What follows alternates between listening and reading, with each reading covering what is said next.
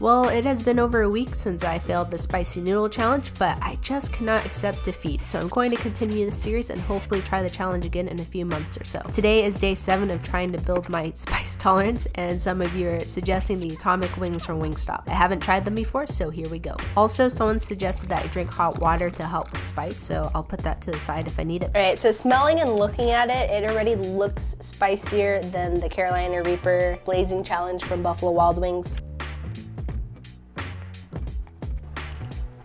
First wing is done, and so far it is not as spicy as the Blazing Challenge. But I do remember when I did the Blazing Challenge, it took a while to kick in, so I want to keep going.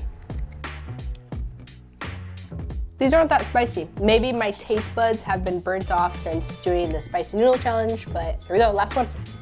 These were definitely not as spicy as the blazing wings from Buffalo Wild Wings, but they had very good flavor.